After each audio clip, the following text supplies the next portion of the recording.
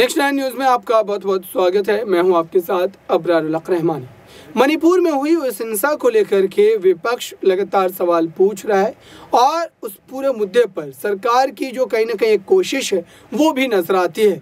दरअसल देश के गृह मंत्री अमित शाह ने इन ब्रेन सिंह से मुलाकात की थी बीते दिनों, और कई ऐसे समुदाय से भी उन्होंने मुलाकात की, जिनकी वजह से कम से कम मणिपुर में जो स्थिति है, उसको नियंत्रण में किया जा सके।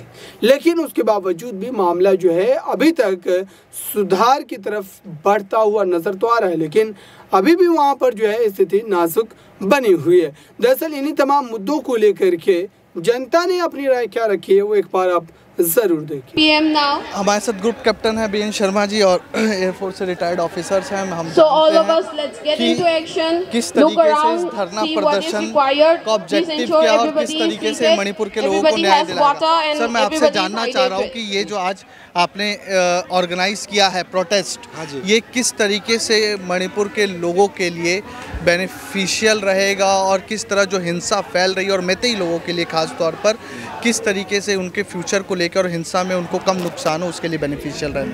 हमारा ये मेन मकसद ये है कि हमारा सफरिंग जो है वो भारत की जनता तक पहुँच जाए और अभी जो हिंसा चल रहा है उसको जल्दी जल्दी सरकार कोई कदम उठाए जल्दी जल्दी रोकने के लिए। हम बोलते रहा ये जो हिंसा के कारण जो है आर्म्स आर्म्स होने वेपन्स होने की सो so, इनको सबसे पहले आतंकवादी लोग जो है इनका आर्म्स हटाना पड़ेगा। आर्म्स हटाने के लिए uh, सबसे पहले शू जो बोलते हैं सस्पेंशन ऑफ़ ऑपरेशन एग्रीमेंट वो उसको हटाना पड़ेगा। जब तक आप हथियार नहीं छीना जाएगा वो फायरिंग होते रहेगा और हिंसा चलते रहेगा। ये मैं सब भारतवासियों को आपके माध्यम से कहना चाहता हूँ आप लोग सपोर्ट कीजिए हमारे इस प्रोटेस्ट को और हमारे आवाज़ को आप लोग हमारे आवाज़ के साथ जुड़ जाइए और बताइए सर भारत सरकार को प्रेशर दीजिए कि ये सस्पेंशन ऑपरेशन एग्रीमेंट जो है इसको निकाला जाए। क्योंकि इस इस एग्रीमेंट के कारण हमारा मैत्री समुदाय का जितने भी किलिंग हो रहा है वो इसके कारण हो रहा है। right मेरा एक सवाल है कि अभी राज्यसभा में एक बिल पास हुआ है फॉरेस्ट कंजर्वेशन कहा यह जा रहा है कि मेतई लोग सर एक uh, मेतई लोग जो वहाँ पर बहुत ज़्यादा मतलब एक स्प्रेड और डोमिनेटिंग जो। कम्युनिटी के तौर पर है पॉलिटिकली साउंड है एजुकेशनली साउंड है thank you so much everyone for the hard work तो वो अपना एक प्रेशर बना रहे हैं कुकी लोगों के के ऊपर कि उनकी ज़मीन को भी हथियार लिया जाए। नहीं इनका ज़मीन तो नहीं है सारे ज़मीन सरकार का होता है पूरे देश में।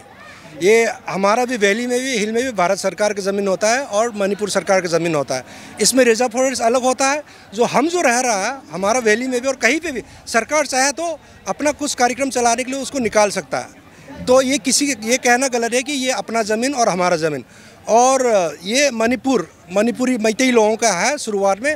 फिर और नगा भी है, नगा भी हमारे साथ है, हमारा इसको हम, इसको ना इंडिजिनियस ट्राइब्स बोलेंगे, नागा और मैतई और कुछ कुकी ये जो शुरुआत में जो है ब्रिटिश जो ला के बसाया गया था, उस, वो भी हम लोग इंडिजिनियस माना जाता है। परेशानी ये है कि नाइनटीन लेट नाइनटीन में जो आए कुकली और अभी जो बहुत सारे इमिग्रेशन हुआ इलीगल इनसे परेशानी है। तो ये कहना गलत है कि मैतई समुदाय ने इनको दबा के रखा। मैतई का पॉपुलेशन ज़्यादा था इसलिए मैतई के लिए वहाँ पे एक पॉलिटिकल हब पॉलिटिकल डोमिनेंस आ गया। और ये तो आ, अभी इनका लीडरशिप को क्वालिटीज़ है क्योंकि हमारे पास 60 असेंबलीज है। वो लोग 60 असेंबलीज में इलेक्शन फाइट कर सकता है जबकि मैतई समुदाय को 40 में सीमिट किया गया है। सो अगर अभी इनका करीब पाँच लाख है पाँच लाख में से अगर अच्छा काम करे अच्छा कार्य करे हमारा मणिपुर में तो छः सिक्सटी की सिक्सटी में लड़ सकता है और जीत सकता है वो कोई सीमित नहीं है बीस ट्राइबल यूनिट्स में जबकि मैतई को सिक्सटी में से सिर्फ़ फोर्टी फोर्टी में कंटेस्ट कर सकता है सो so, ये इनको एडवांटेज है ये उल्टा बता रहा है ये गलत भ्रम फैला रहा है कि मणिपुरी मैतई लोग और आप लोग देखिए आई कितने बने हैं दिल्ली में देख लीजिए मणिपुर में देख लीजिए कोई भी सरकारी नौकरी और प्राइवेट नौकरी में देख लीजिए ये गलत है ये इनका डोमिनेंस ज़्यादा है ओके बहुत बहुत धन्यवाद आपका बात करने के लिए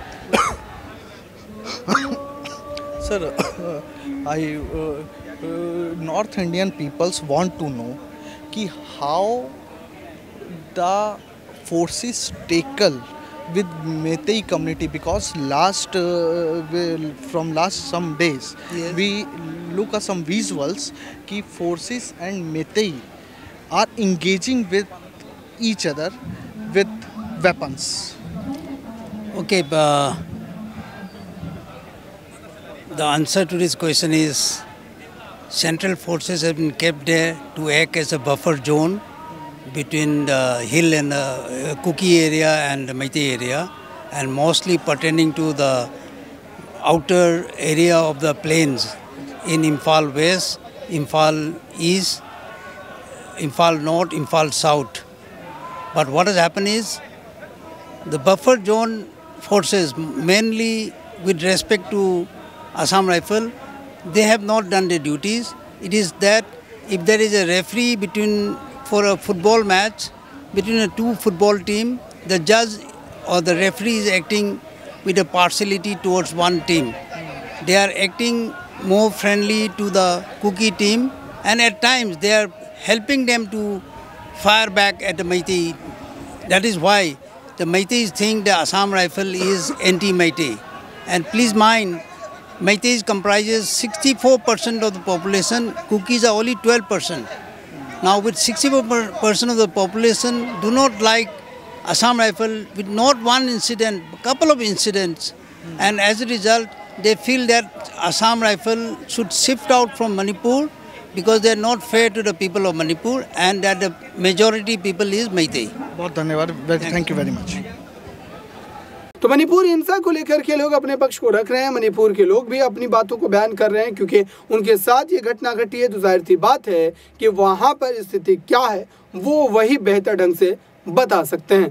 फ़िलहाल अब इंतज़ार इस बात का है कि देश के गृह मंत्री अमित शाह, देश के प्रधानमंत्री जो है नरेंद्र मोदी का इस पर अंतिम फैसला क्या आएगा, जिसकी वजह से वहाँ पर ज़िंदगी जो है, आम जनजीवन जो है, वो फिर से एक बार पटरी पर बहाल होता नज़र आएगा। इस खास रिपोर्ट में से जुड़े रहिए बड़ी खबरों के लिए नेक्स्ट नाइन न्यूज़ के साथ।